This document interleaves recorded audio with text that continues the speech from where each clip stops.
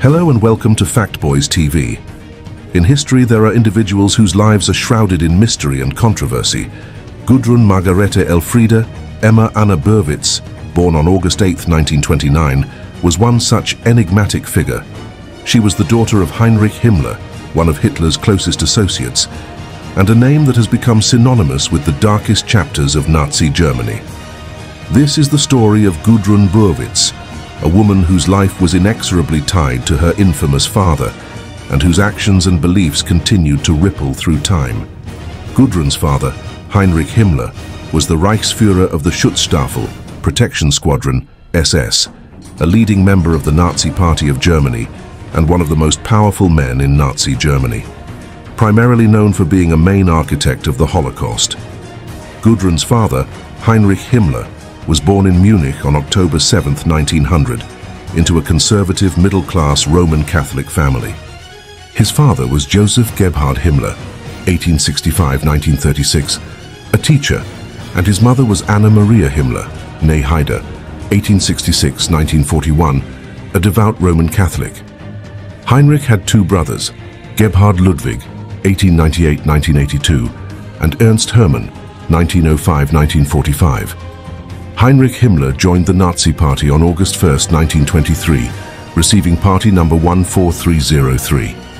As a member of Röhm's paramilitary unit, Himmler was involved in the Beer Hall Putsch, an unsuccessful attempt by Hitler and the Nazi Party to seize power in Munich. In April 1934, Himmler was appointed Assistant Chief of the Gestapo, secret state police in Prussia, and from that position, he extended his control over the police forces of Nazi Germany. He masterminded the June 30th, 1934, purge in which the SS eliminated the SA as a power within the Nazi Party.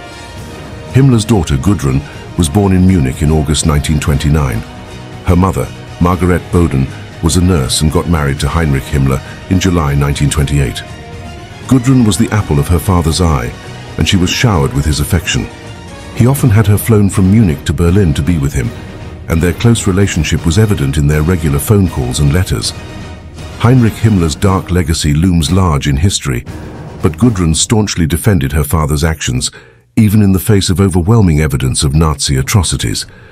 She never renounced the Nazi ideology and maintained that her father's death in British captivity was not a suicide, but a murder.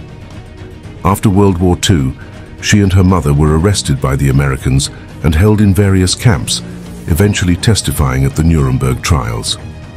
Gudrun later described this period as the most challenging of her life, where she felt as though she had to atone for her father's sins.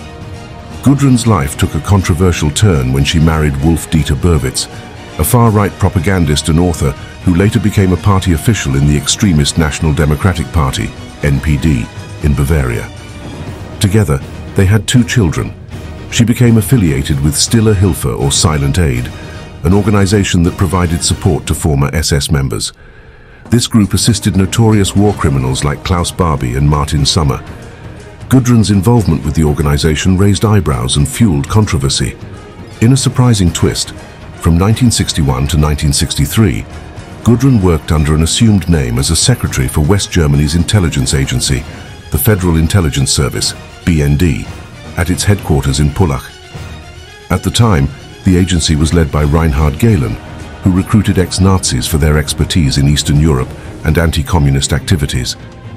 Gudrun's involvement in this covert world added another layer of intrigue to her story. For decades, Gudrun Burwitz remained a prominent figure in Stille Hilfe. Her involvement in various meetings, including the annual Ulrichsberg gathering in Austria, elevated her status within the organization. Journalist Oliver Schröm described her as a flamboyant Nazi princess, highlighting the paradoxical nature of her public image. Gudrun's controversial legacy reached its darkest point when it was revealed that she provided financial support to SS Scharführer Anton Malloth, a former Nazi prison guard and fugitive war criminal. Malloth was convicted of brutally beating prisoners to death at the Theresienstadt concentration camp, including the grandfather of investigative journalist Peter Finkelgrün. Gudrun Burwitz's life was marked by an unflinching defense of her father's actions and unwavering loyalty to Nazi ideology. Her association with extremist groups, her marriage to a far-right figure, and her support for war criminals make her a perplexing and polarizing historical figure. On May 24, 2018, Gudrun Burwitz passed away at the age of 88, leaving behind a legacy that continues to evoke both fascination and controversy.